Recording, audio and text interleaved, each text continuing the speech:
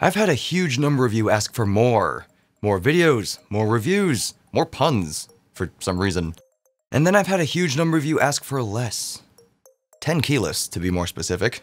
Motospeed previously sent me their CK104 Inflictor keyboard that you can check out in the card up top, and a number of you have wondered, what about the little guy?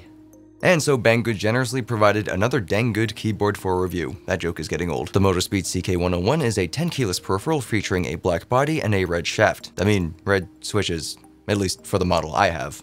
The board also comes in white, and you can opt for the blue shaft instead of the red, though I have yet to determine if that's better or worse than blue balls. On a somewhat related note, for those of you with a foot fetish, you've got two rubber feet around the bottom. The last two are just plastic. If you're more interested in some light bondage, you are provided a 1.5 meter braided detachable micro USB cable.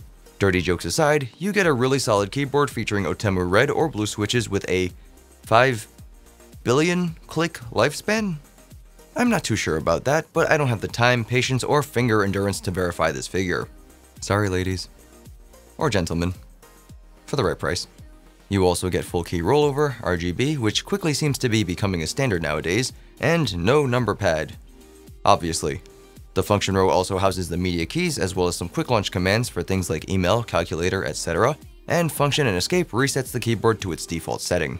The number row has various lighting profiles tuned to gaming situations like shooters or MOBAs, and then you've got 5 profiles you can customize on your own, as well as a couple of keys to control lighting effect speed. Function and insert allows you to cycle through your effects list, and function and delete lets you customize that effect to some extent. For example, if we go to a static profile, function and delete will let you switch from the speckled rainbow to red, green, blue, yellow, purple, cyan, and white. The next effect is mixed light mode with a breathing option. After that, you get a never ending with the color options mentioned before and lateral direction control with function and the arrow keys. The next one is a type lighting per key effect with same color options, followed by a sinusoidal wave because math is fun. It looks pretty neat, but it may or may not be distracting after some point in time. After the static colors we already went over, we have a breathing mode with the same color package as usual, followed by a colorful neon mode, which is effectively a color shift. Next is another type lighting effect that they call touch and go, and then you've got what I think is the best implementation of a rain effect I've ever seen on a keyboard, because it looks intense AF.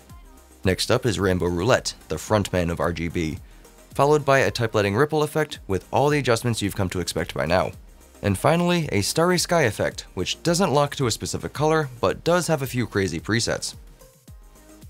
In my usage, I definitely miss my number pad. Though, that's the entire reason you get a 10 keyless, so I'm sure you'd be okay with that kind of thing. Aside from that, the keyboard served me well. The Otemu Reds feel heavier than Cherry's version, but after some time with it, they were pretty easy to adapt to. The double shot ABS keycaps are smooth to the touch and boast durability, so I doubt you'd run into any longevity issues there. The switches also sound marginally quieter in comparison to Cherry's, since the bottom out noise seems to be a little deadened. Have a listen.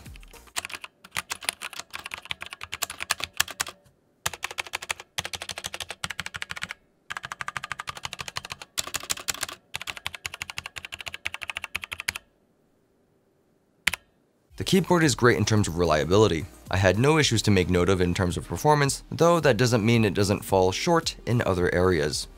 On keyboards that use secondary functions, I prefer those to be transparent to allow backlighting to show through for those late night sessions that I'm sure you're all familiar with. Scroll and caps lock don't have any indicators, so that can be mildly frustrating at times, and my last complaint is in regards to its bottom. The two rear feet on the board are only plastic, so if you're a particularly enthusiastic gamer, it may not provide as much stability as you'd like. But aside from all that, for 50 US dollars, the keyboard is solid with its plastic and aluminum construction, so I don't doubt taking it on the go will cause any long-term issues. If you're looking for a 10 keyless, driverless RGB keyboard, this little dude sports some pretty big guns. So that's all I have to say about that. If you felt this video came up short, feel free to let me know. That was a cheap excuse for a pun. Like, dislike, comment, subscribe, share, leave me questions if you've got them. Thanks for watching. My name is Steven, and I am a little dim.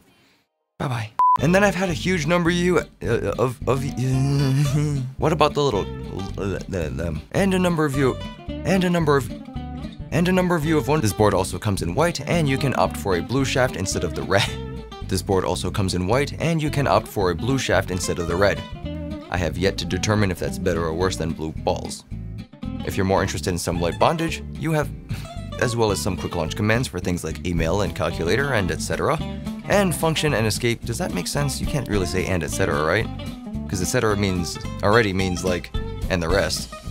Or, and so on, you know, whatever. RGB, which quickly seems to be becoming a stand, be becoming followed by a sinusoidal it looks pretty neat, but it may or may not be distract distracting. The double shot ABS keycaps are smooth the smooth. The double shot ABS keycaps are smooth to the smooth, smooth to the touch, smooth to the touch, and boast durability. So I doubt you'd run into uh, smooth to the touch, smooth to the, smooth to the touch, smooth to smooth to the touch.